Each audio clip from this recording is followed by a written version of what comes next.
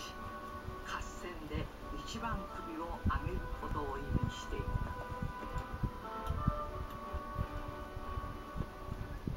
若殿にはそれがしが一番乗りを献上するべし。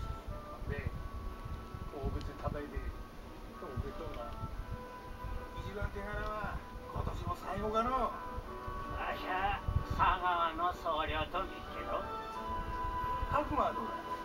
あれもなかなかいやいやカグマは鉄砲のうちのもんだ。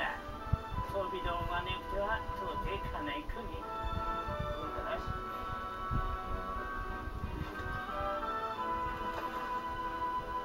負けんなよ。